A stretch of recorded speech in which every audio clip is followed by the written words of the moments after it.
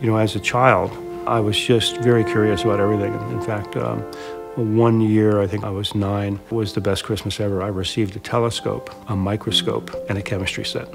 And I really enjoyed that and still do as an amateur astronomer. And uh, microscope became critical to my studies. And of course, the chemistry set was amazing, and I enjoyed that. I was obsessed with this inflammatory process because I knew that inflammation is what causes the aging process. So I boldly said that I believe that aging is not a natural process, it's a disease, and it's an inflammatory disease. And there's just this huge negative emotional reaction.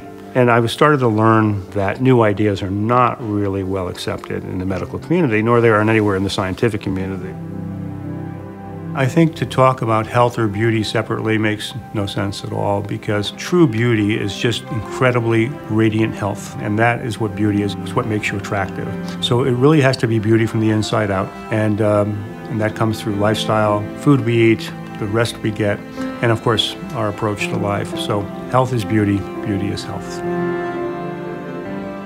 I think being a scientific rebel means that you are looking at areas that are specifically not part of the mainstream or approved ideas, and I think that's how we make progress. So a rebel is fine. You have just have to get over the fact there's going to be a lot of a lot of negative comments and criticism, and so you have to thicken your skin a little bit to get through that. Cosmetics I was seeing were tremendous amount of marketing, but when you actually use the product, there was no benefit that I could see as a dermatologist, as a trained skin doctor. So I wanted products that were based on science that would truly perform for the consumer. My philosophy is I think we are all on this planet with a specific mission. And we may not know what that mission is sometimes. Sometimes we do have a feel for it, but we have a mission. And there's no mission that is trivial. You know, whatever your position is in life, if you're taking care of your children or if you are president of the United States, uh, you know, you have a mission. And to accomplish that mission, you've got to be healthy, you have to have a good brain, and you've got to have a body that responds.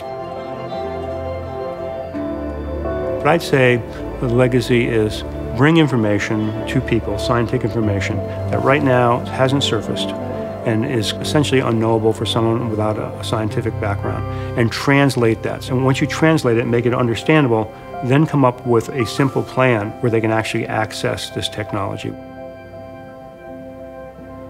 The question, I guess, is do I feel like I've achieved my life goals? And I feel that in many ways I've achieved the goals I originally had, but the thing is, it keeps on changing. And as you learn more and as you achieve more, then you say, well, if that was possible, what more can I do? And so, yes, when I finally find that magic bullet where people can achieve 80 or 85 years of perfect health, then I think I've reached my goal.